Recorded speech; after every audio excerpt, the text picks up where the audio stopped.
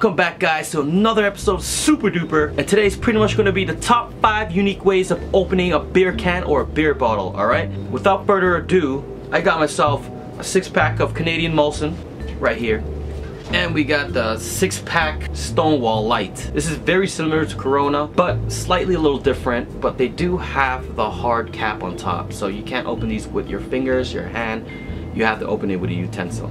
So some of these techniques are already done by some other people, but there are two techniques I do have that I've originally done myself and I experimented and it worked. Alright, so I'm gonna present the first two that I've done myself.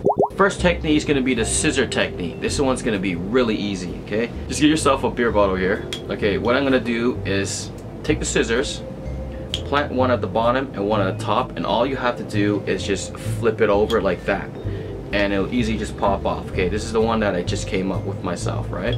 Here, this, is very simple. Here, watch. Here you go. And just twist off. Like that. Boom. Easy.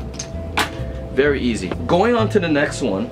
And this is gonna be technique two, right? This is the one I came up with myself after experimenting. Get yourself another hard cap bottle and in a beer can Alright, this is what I call a beer can pop. So what I'm gonna do here is use these two. I'm gonna use this beer and I'm gonna use this bottle. And I'm gonna put them, merge them together to pop open this can. How does it work? This is how it's gonna work. So you see uh, the outer rim of the bottle? This is just perfect to dig underneath the cap right here. So what you wanna do is just do the same thing as a lighter. It, let's say you didn't have any lighters around. There's absolutely nothing wrong. There's no scissors, no knife or anything like that. So if you only had a beer can right here, this would be the perfect opportunity to use it.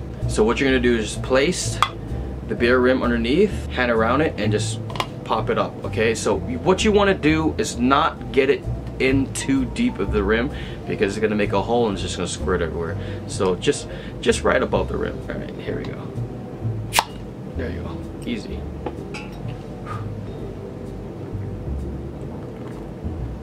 So the third technique is going to be the knife slice, all right? So get yourself another bottle, okay? What we're gonna do is get a knife as well too. Any knife should work. So we're gonna lay the bottle like this, at this kind of angle, and we're just gonna take the knife and just rocket ship all the way to hit the cap, till the cap blows right off, okay? I'm gonna show you guys like here. Okay, we're gonna go like here. That's it. Just lay the knife down. Don't lift up a little bit. It has to be all the way down and just go hard as you can. Not too hard to break off the bottle, right? Okay, so here we go. Easy.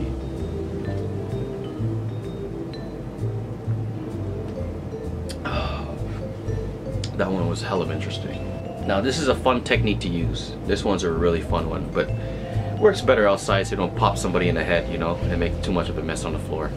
Okay, now going off to the fourth technique, I know you guys seen some of this before in some videos. Um, this one's pretty unique. Um, I like this one. This is the thumb beer shotgun, all right? So what you're gonna do is just take this can here and we're gonna use our thumb to poke a hole in it and shotgun it. So what you wanna do is position your tap the right way, which is downwards. Lean the bottle in an angle. Make sure the air bubbles are right here, where most of the air is. Take your thumb, press it all the way down till there's a hole. After there's a hole, they're good what you can do is just shotgun it. and Just easy. I never tried this before. This is gonna be the first time doing this. So here we go. I gotta stand up a little bit for this. Okay, so here we go. I think I'm gonna use my left.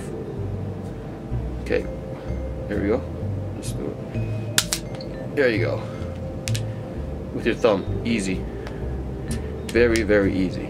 So you see the inner side there? That's where the airspace is. So you want to take your thumb and just push it in there, easy. So now we're to do shotgun.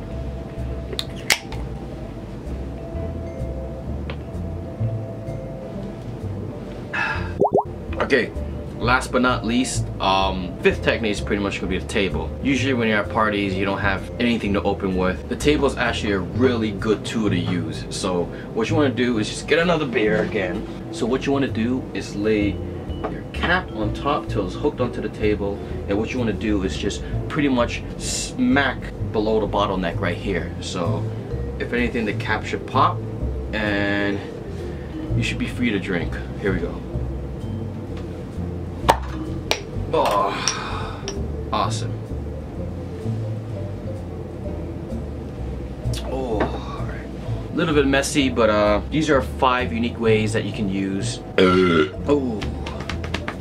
These unique ways of opening the beer bottles and beer cans are actually pretty awesome. So when you guys are out at a party, if you want to show off to friends or if you guys are just having a fun time or you don't have anything to use, these are some techniques you can use. Some of these are actually pretty useful. So uh, the beer can, this one was a pretty unique one. I'm gonna show you guys, you can still open it even if the beer can is empty. This technique, what you gotta do is just crush the can all the way down.